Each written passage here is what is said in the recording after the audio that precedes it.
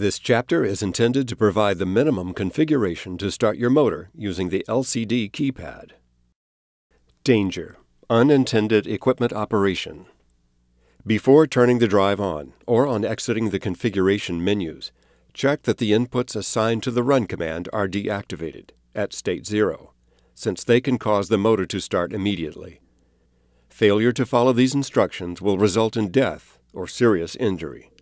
Please consult the Altivar 212 programming manual available online at www.schneiderelectric.com for additional information and instruction.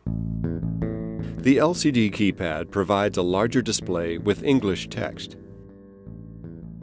These are the part numbers you will need to order the LCD keypad and its components. VW3A1101, the LCD keypad module. VW3A1105, a female to female RJ45 adapter, and a VW3A1104R10, a 1 meter cable with two RJ45 connectors. Attach the female to female adapter to the back of the keypad, making sure the connection snaps firmly in place. Plug one end of the RJ45 cable into the female to female adapter. Before performing the next steps, ensure no power is applied to the drive. Open the front cover of the ATV212. Plug the other end of the cable into the ATV212's RJ45 port, making sure it seats firmly. Close the cover and lock the unit. Power on the ATV212. In a few seconds, the LCD will cycle through several screens until it displays the drive menu. The drive is shipped from the factory configured for operation at 50 Hz incoming power. We will change the minimum number of parameters needed to start the drive and motor. These parameters are related to the motor you have connected. Having the following data from the motor nameplate readily available will allow you to configure these parameters in just a few minutes. Motor rated current, also called full load amps, motor rated voltage, and motor thermal protection setting. Often this is the same value as the motor rated current. We will configure the drive for operation at 60 Hz. Press the Escape button on the LCD keypad to reach the programming menu. Turning the rotary dial, scroll down the menu to locate TYP, the parameter reset.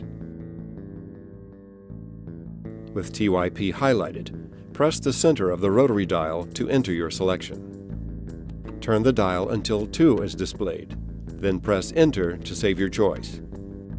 This sets specific parameters to values suitable for 60 Hz incoming frequency. The drive will reset and return to the drive menu. For more information, see the table on pages 166 and 167 of the Altivar 212 Programming Manual for a list of parameters that are affected by this reset action and the resultant values. Now press Escape to access the programming menu. Next, we will configure the motor thermal protection. Navigate down to THR, Motor Thermal Protection. Press Enter. Use the wheel to navigate to the correct value equal to your motor thermal protection setting. This value will be set in amps. Press ENT to save your setting. The screen returns to the programming menu. Next, we will configure the motor rated voltage.